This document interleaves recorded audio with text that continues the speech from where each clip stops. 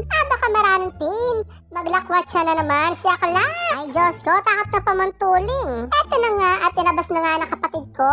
Ang super brum-brum namin. Alam na alam nyo nga, pag sa amin, may tatak na 187 sa gulot.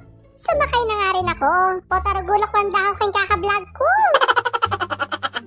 Ay, Diyos ko, kasanti na talaga ng bebe ko. Manang-manay talaga ka na ako. Eto na nga at paalis na nga kami. At pagdating nga namin dito sa may simbahan, Siguro go, karakalmiya ka tululita panyikit mi. Karano na pumumahay pag marites. Siyempre, charot lang yon. Pagkatapos nga namin makipagmarites, ay dumiretso na kami sa dalakitan. Ay, Diyos ko, makarini lumabas Kenny. At no karakad ng sisimbo. Buti na lang talaga, ready ako. Hindi ako masyado mahikilala dito, mga kala. Ito na nga, kami ng bangka. Ay, Diyos ko, rugo. Mangalgal kuwebon. Last 2018 pa kasi. Nang huli akong dumalakit dito. Ay, Diyos ko, nano na yeni, 2023 na. Minsan na nga ako dumalakit, titikul ko pa yung yalti. Buti na lang talaga kasama namin ang kapatid kong lalaki. Kahit pa paano ay may umalalay sa amin sa pagsakay. Wow, kunwari relax lang si Akla. Pero ang totoo niyan, ay lalo yung mumuring yung antak ko, Diyos ko, rugo. Sobrang ako kakaro. Ay, Diyos ko, labi niya yung wali ko. Piling na kanya niya Jack and Titanic. Near, far, wherever you are, yes, hanapin ka niyan, Diyos ko, rugo. After 100 years, salamat naman at nakarating na kami dito sa kabilang side. Diyos ko, feeling ko talaga lalo may nalatira niya ibon ko. ulit ng taxi ken. Ay, Diyos ko, hindi ako na-inform na pang-budget lang pala ito nasakyan namin. Lalo ko rin gumawa kibit-kibit, Kenny. Ginagawa mo. Bago ako bumaba, ay nagbayad na muna nga ako. Diyos ko, patalago kut-kut na ako mabiye, Kenny.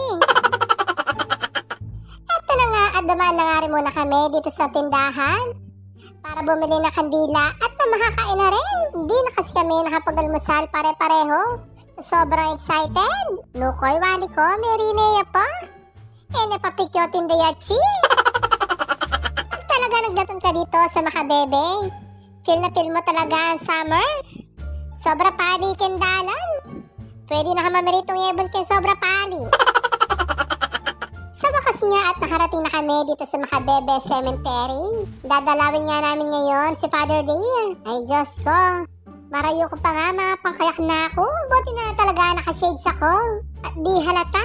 Ginagawa mo. Pagdating nga namin dito, ay agad na tinanggal ng kapatid ko at pamangkin ko ang mga damo na nasa harapan ng puntod ni Father Dear. Ay Diyos ko, ay bebe, bara na siguro chulo nito. Ah, kakulit na. Wala pa akong ginagawa sa kanya, parang pagod na ako. ay Diyos ko, hindi na may sabit-sabit nga eh.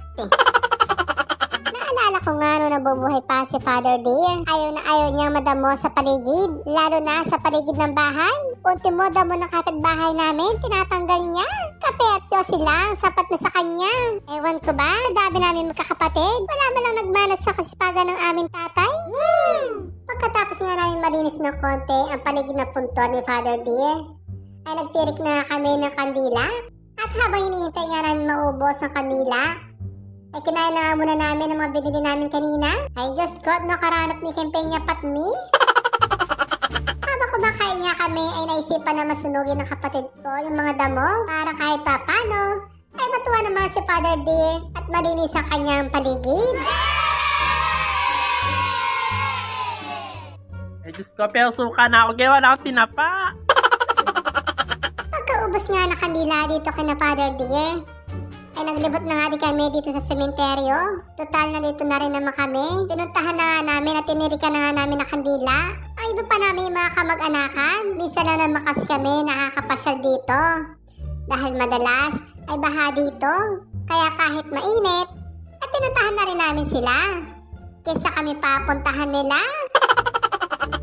Diyos ko, yung iba nga namin kamag-anakan, di namin alam kung saan nakalibing. Kaya inisa-isa pa talaga namin. Mga nakasulat ng pangalan sa lapida. Pag pala naglibot ka talaga dito sa sementeryo. Lahat ng pangalan ng Marites nandito. Char! Eto na nga at pauwi na kami. Feeling ko naman ay napuntahan naman namin lahat. Sabi ko nga, i-follow nila ang vlog ko at isa-shoutout ko sila. So, paano mga kla? Hanggang dito na lang muna. Hanggang sa muli, magandang buhay!